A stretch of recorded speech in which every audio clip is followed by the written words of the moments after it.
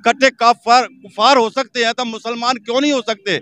हम मुसलमान उम्मत रसूल कुरान पाक की हिफाजत के लिए अपने इस्लामी हकूक के लिए हम इतने कमज़ोर क्यों हैं? इतने नादाम इस दुनिया तादाद के अक्सरियत के बावजूद हम कमज़ोरी क्यों दिखा रहे हैं? हमारे पास क्या कुछ नहीं टीवी के साथ मैं हूँ आपका मेज़बान मलक खुरम शहजाद नाजरीन। इस वक्त मैं कसूर फ़िरोज़पुर रोड पर मौजूद हूँ। मेरे पीछे आप कब में देख सकते हैं कि एक बहुत बड़ा काफिला एहतजाज कर रहा है।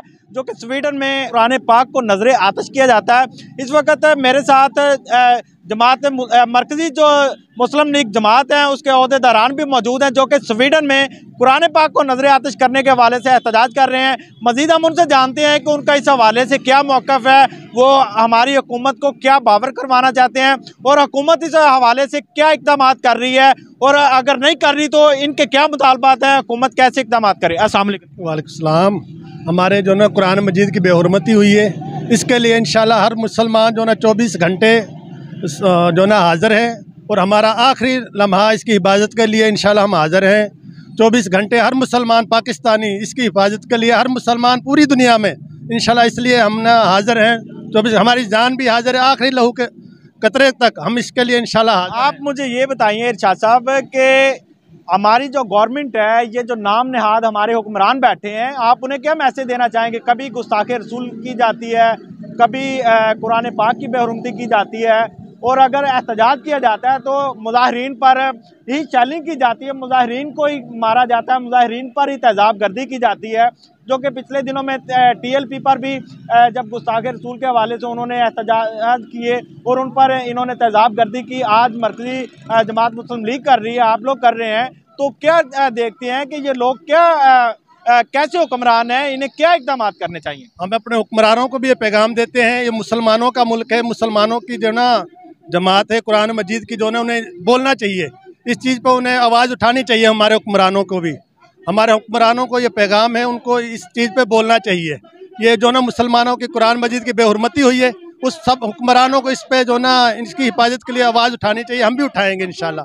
हर मुसलमान उठाएगा, पूरा पाकिस्तानी जब हम लोग एहतजाज करते हैं, उन्हें बावर करवाना चाहते हैं, यूरोपियन यूनियन को या दूसरे जितने भी गैर मुस्लिम ममालक हैं, जो ऐसे गनौने इकदाम करते हैं तो उस हवाले से ये लोग हम पर ही जुल्म सितम के पहाड़ डालते हैं। आप इस हवाले से क्या कहेंगे? ये गलत करते हैं ना इन्हें अवाम का मुसलमानों का साथ देना चाहिए। पूरे दुनिया में मुसलमानों का साथ देना चाहिए। ऐसे मुल्कों के सफारत खाने पाकिस्तान में बंद कर देने चाहिए। सख्त पैगाम जाना चाहिए मुसलमानों की तरफ़ से कि मुसलमानों के साथ इनके मान को मजरू करते हैं और हमारे नबी और हमारे कुरान की बेहरमती करते हैं। इन लोगों को अतालमी अदालत के कटहरे में लाना चाहिए। और इनका जो है सफारत खाना बंद करना चाहिए। सफारत खाना जब हम सफारत खाना बंद करने की बात करते हैं तो यही हमारे नाम नेहाद हुक्मरान हमें कहते हैं जी हमारा मुल्क दिवालिया की तरफ़ चला जाएगा। क्या इनके सफारत खाने बंद करने से या इनके सफारत खाने पाकिस्तान में रहने से ही हमारे मालिक चलते हैं? ऐसा नहीं नहीं रोजी का मालिक अल्लाह के साथ है। जब ये पाकिस्तान बना था ला अल्लाह की बुनियाद पर बना था। रोजी का रोजी रोटी अल्लाह देने वाला है। ये नहीं देते काफर लोग हमें नहीं देते। अल्लाह ने वादा किया रोजी का देने का हमें। हम इनके कोई इनके नहीं इनसे नहीं लेते रोटी रोटी अल्लाह ज़्यादा देती है। सर आप क्या कहना चाहेंगे इस हवाले से? रहीम शमसुद्दीन मैं सदर अंजमन ताजरान कसूर।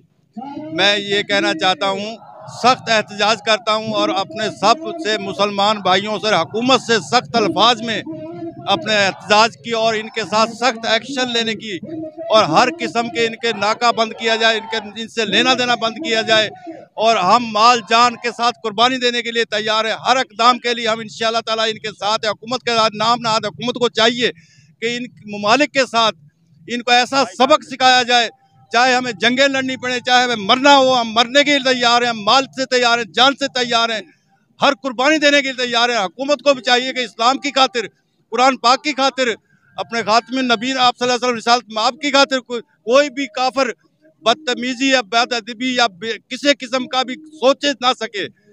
हमें मुकम्मल तौर पे हम हुकूमत का साथ देते हैं और हुकूमत को चाहिए कि अवाम का मुकम्मल तौर पे इस्लामी दुनिया का पूरा साथ मांगते हैं हम और मुकम्मल तौर पे सपोर्ट करने के हम अलहमदिल्ला वादा करते हैं कि इन ताला हम भी जितना माल जान से कुर्बानी देने के तैयार हैं। अच्छा सर मुझे मुझे ये बताएँ कि ये जितने भी हुक्मरान हैं जितनी भी सियासी पार्टीज़ हैं ये जब ये मामला आ जाता है ख़त्म नबूवत का मामला आ जाता है या कुरान पाक की बेहरमती का मामला आ जाता है ये सारे नाम नहाज हुक्मरान, सारी नाम नहाज सियासी पार्टियाँ जो, ये यकमुश्त हो जाती हैं और आम मुसलमान जो जितने भी मुसलमान हैं, हम, हमारे वोट से ये ईवानों में जाके बैठते हैं और हमारे वोट की ताकत का इस्तेमाल करते हुए हम पर ही जुल्म सितम के जब ये पहाड़ डालते हैं तो इस हवाले से क्या कहेंगे आम आवाम को कि इन नाम नहाद हुक्मरानों को, नाम नहाद सियासी पार्टियों के लिए हमें क्या इकदाम करने चाहिए?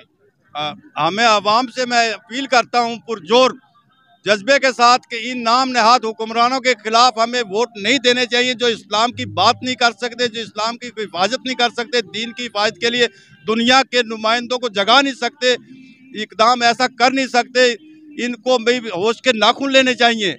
और आवाम को भी चाहिए कि हम अपने पूरी ताकत के साथ इनके खिलाफ हर महाज पर इनसे बात करें, अपने नाम नहाद लीडरों से, कि वो जब इकट्ठे काफार कुफार हो सकते हैं तब मुसलमान क्यों नहीं हो सकते?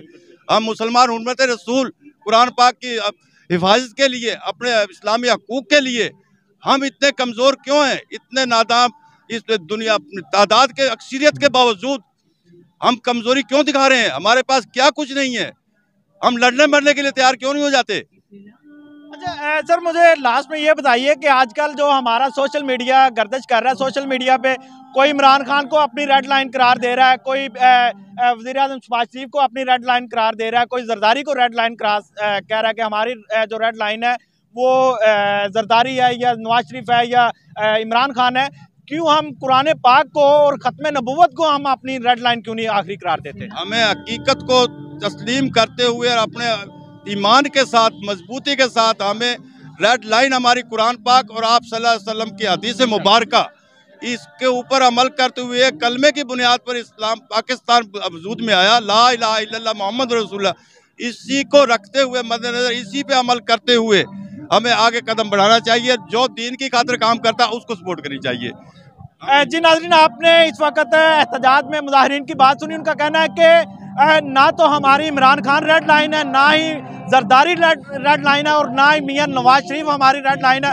अगर हमारी रेड लाइन है तो ताजदार ख़त्म नबूत हमारी रेड लाइन है कुरान पाक हमारी रेड लाइन है जिसकी बदौलत अल्लाह पाक ने आज से 1400 साल पहले हम मुसलमानों को ज़िंदगी के असूल सिखाए और अगर हम आज मुसलमान अपने कुरान पाक पर अमल करते हुए, कुरान पाक की तालीमत पर अमल करते हुए अपनी ज़िंदगी गुजारेंगे तो ये जितने भी गैर मुस्लिम ममालिक हैं, जो हम मुसलमानों को मज़बूत करने के बजाय हम मुसलमानों को पसी की तरफ़ डालने की कोशिश कर रहे हैं, अगर हम कुरान पाक की तालीमत पर अमल करेंगे तो इन पसी नहीं, बल्कि बुलंदियाँ हमारे कदम चूमेंगी और हर तरफ़ मुसलमानों का अरूज होगा और इन जैसे पहले गैर मुस्लिम हुक्मरान जवाल की तरफ़ थे, वैसे इन जवाल जवाल ही इनका मुकद्दर बना रह गया।